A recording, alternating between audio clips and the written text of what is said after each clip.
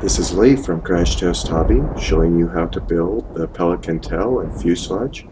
Going to start by showing you how to make a goop hinge. Notice how strong and flexible this hinge line is on the EPP foam.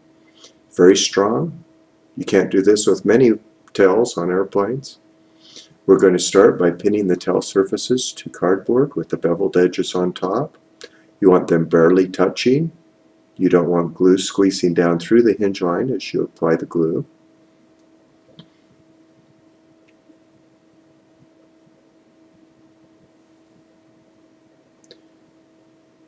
Taking the goop glue, put a bead of glue down along the hinge line and spread it very thin with a razor blade.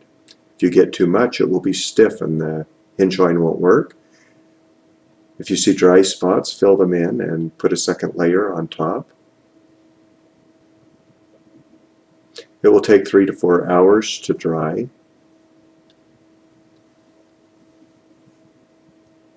We're now going to trim the bottom back of the rudder up one and a quarter inches and then extend the front part just past the hinge line so that the elevator will have room to move on the back of the plane. The rear of the fuselage already has a slot cut in it. We're going to trim three inches off the rear of the fuselage and remove that piece of foam and then mark the center line on the horizontal stabilizer and just make sure all the parts fit. You can see where that gap on the rudder leaves a space for the elevator to move. We recommend the pod mounted motor on the plane, but we have also made it so you can put a nose mounted motor on it if you want. We're going to glue two Formica layers to the front of the plane they will act like a bumper for the pod-mounted motor version 2 and protect the battery in the plane. Apply the glue to the foam when you do that so that uh, it won't cool before you get done. You're now going to cut two slits in the top of the fuselage, 3 quarter inch deep. They're back 5 inches and 13 inches. You're going to roll the dowels in as you press them into the slits. I pull them out and enlarge the holes slightly with a soldering iron so that the dowels will sit exactly where I want them.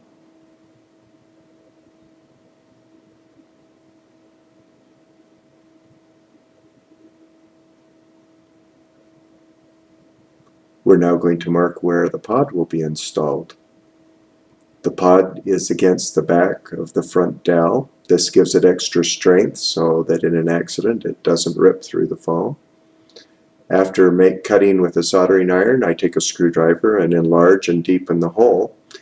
If you have put LED lights in the plane, make sure you do not damage the lights at this point. This plane actually has LEDs installed. The pod will need to be at 90 degrees to the top of the fuselage and aimed at the left front corner of the fuselage to compensate for prop torque.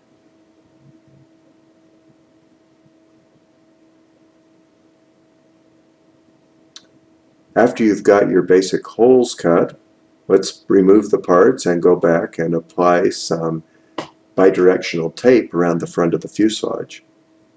This makes the fuselage strong enough that it just doesn't tear and makes it so that your plane will last. Make relief cuts as needed so the tape can lay flat.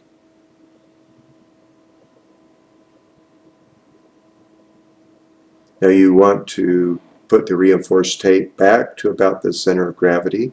That way you're not adding weight that has to be compensated for in the nose of the plane.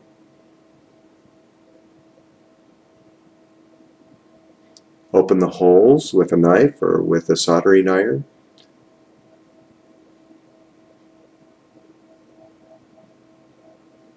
And just double check the fit again.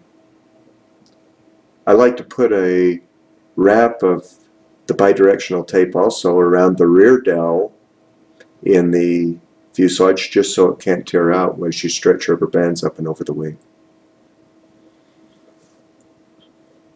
And then once again I melt the holes open and check for fit. Make sure that they're aligned with the fuselage and that they're square. We're now going to laminate the fuselage. We do this before we glue those pieces in so they're out of the way. Starting on the top of the fuselage with an iron that's about 200 degrees in temperature. I laminate the over the top of the tape and in this case you can see the wires that go to the LED lights that I brought up through a hole. And then I wrap down and around and laminate the bottom of the plane. And as you can see there, there are the LEDs that are in the bottom of this plane wrap smoothly around the corners and if your iron's the right temperature the laminate will lay flat for you Then after you make cuts, just seal the edges down. After you're done with your basic wrap, turn the iron temperature up and you can seal everything so the laminate is, laminate is stuck better.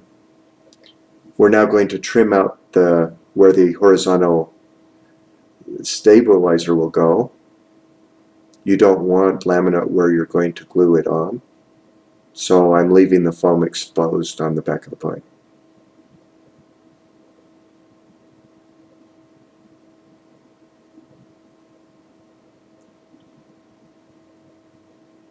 We're now going to cut out a box in the fuselage to install your receiver and speed control and your LED light controller if you're using it.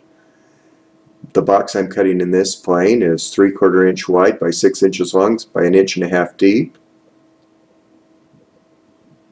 Remove the laminate and the E-tape that's over the top. I actually cut right up to the back of the pod. Now using a metal straight edge and my soldering iron, I cut, make a cut along the edge of the opening. You want the sides of the fuselage to remain as thick as possible to keep the fuselage strong. The metal straight edge keeps the iron from overcutting into the parts of the fuselage you don't want to cut. And then I make some relief cuts so I can use some pliers and just pull the foam plugs out. This foam is so surprisingly durable you couldn't do this with any other type of foam. I'm sealing the edges down but then going back and using my straight edge I'm cutting another layer out so I can get deep enough for the radio gear to fit.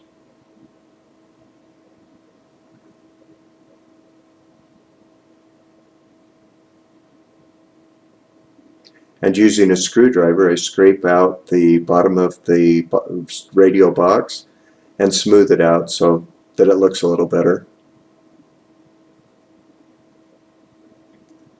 At this point I am cutting a hole for the battery. I'm using a 1350 battery on this particular plane. You want it as far forward as you can get it. The most planes like this tend to want to be tail heavy pull the laminate and the E-tape off of the front so that the iron can cut through. And using the same metal straight edge technique, cut through and make some relief plugs that you can pop out through the hole. You want your battery so it's totally enclosed in the fuselage. Once again, I'm using a metal straight edge so I don't overcut with the body uh, of the soldering iron and once again pull the plugs out. Your battery should fit tight in the hole. I do install Velcro to help hold the battery in place. And right here I punched a hole to make a mark and then make a slot for 3 quarter inch Velcro that will go through and wrap around the battery and keep it in the nose of the plane. Using a little alcohol I clean the marker off of the front now we're going to glue the horizontal stabilizer in place. As you press it into place, get your square and make sure that they line up 90 degrees. Also make it sure it's the same distance off the table. You don't want it sloped to the right or to the left. A little extra glue there will help hold it in place. Now using my soldering iron, I punch some holes through the laminate on the back of the fuselage. This is to give the glue access to the foam underneath the laminate. Using my glue gun, I squeeze glue down into those holes and then put it on the tail, which is not laminated. And then I put the rudder in place. You want the rudder to be vertical with the table, but also and also don't let it be bent on the back of the plane so that it needs to be straight. Thanks for watching. Thanks for buying our kids. This is Leif from CrashTestHobby.com.